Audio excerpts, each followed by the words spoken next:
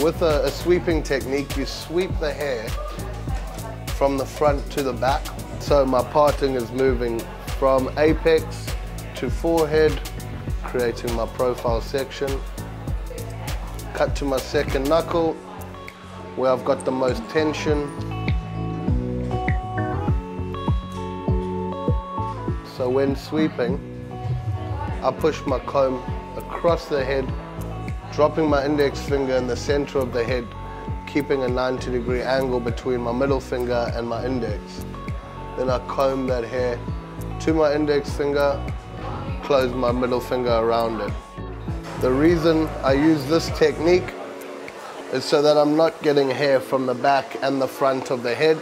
I'm still working with precision while I'm sweeping, but it allows me to work a lot faster on shorter hair. Onto the right hand side now, where my guideline is in the center. I'm cutting a round shape, so my fingers are mirroring the head shape. Push the comb across, keep that 90 degree angle, comb and close your fingers around the hair.